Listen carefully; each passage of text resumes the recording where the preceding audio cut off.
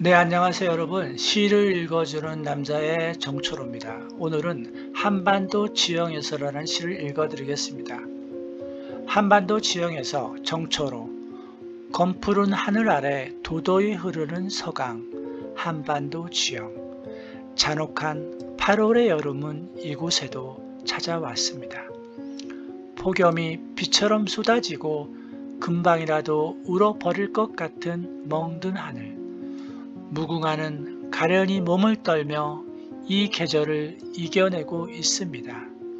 이 시절에 당신은 비록 진딧물에 팔과 다리에 진물이 나도 당신의 향기는 만리를 달립니다. 한반도를 축소한 듯한 지형으로 유명한 곳이 영월에 있습니다. 전국의 한반도 지형은 여러 곳이 있습니다. 영월, 진철, 정선, 옥천, 영동 등이 있습니다. 그 중에서 저는 영월과 영동을 다녀왔습니다. 영동의 한반도 지형은 달도 머문다는 원류봉이라는 곳에 있어서 트레킹하기에 좋은 장소입니다.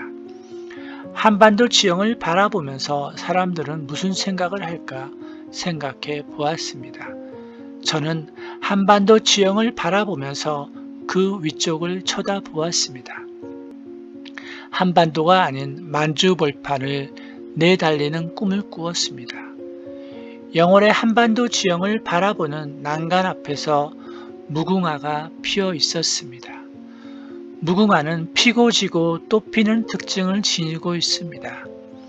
일반적인 꽃들은 같이 피고 같이 지지만 무궁화는 순차적으로 피고 진다고 합니다.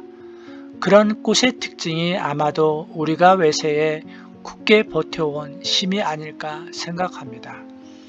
한반도 지형을 바라보면서 홍범도 장군이 바라는 완전한 독립을 꿈꾸어 봅니다.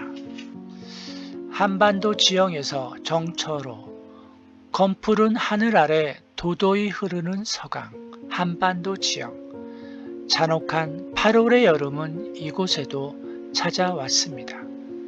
폭염이 비처럼 쏟아지고 금방이라도 울어버릴 것 같은 멍든 하늘. 무궁화는 가련히 몸을 떨며 이 계절을 이겨내고 있습니다.